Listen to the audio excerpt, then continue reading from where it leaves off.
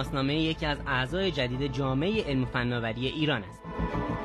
من نسل چهارم خانواده ربات انسان نمای ملی سورنا هستم نسل چهارم ربات انسان نمای سورنا که حالا بعد از چهار سال بومی سازی با قابلیت های متفاوت نسبت به سورنا 3 ارائه شده است. سورنا 4 نسبت به سورنا 3 هم تو هوشمندی در واقع ارتقا پیدا کرده هم تو سرعتش و هم توی بحث طراحی مکانیکی و طراحی صنعتیش طراحی که ملاحظه می‌کنین کاملا اصلی و اوریجیناله و در واقع ما تونستیم با یه طراحی خاصی این ربات منحصر برای ایران طراحیش بکنیم.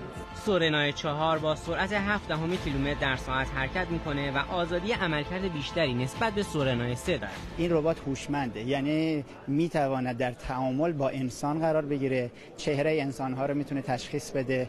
می‌تونه جهت ها رو تشخیص بده. اشیاء رو تشخیص بده. تعداد افراد یا اشیاء رو می‌تونه تشخیص بده. و با توجه به برنامه ریزی که شده و این برنامه ریزی هر روز دقیق تر و دقیق تر میشه می‌تونه سوال های شما رو نسبت به سوال پاسخ صحیح بده. این ربات با حمایت معاونت علمی و فناوری ریاست جمهوری و همکاری تیم دانشکده مکانیک دانشگاه تهران رونمایی شد. پروژه‌ای مثل پروژه سورنا در واقع بخشی هستش که ما دانش رو توسعه میدیم برای اینکه بتونیم تو حوزه‌های تجاری سازی عملیاتیش بکنیم.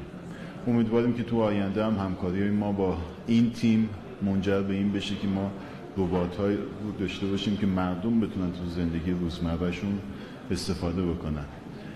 انواع اقسام ایده های مختلف تو این حوزه ها هست. خصوصا ربات هایی که تو حوزه آموزش استفاده میشه طراحی ربات انسان نمای سورنا از سال 1387 آغاز شد و حالا سورنای چهار در نقطه اوج این فناوری است. سورنا 4 در حقیقت نماد فناوری ساخت ربات در ایرانه که سرریز فناوری ساخت این ربات می‌تونه در رشته های مختلفی چون ساخت اندام های مصنوعی مورد استفاده قرار بگیره.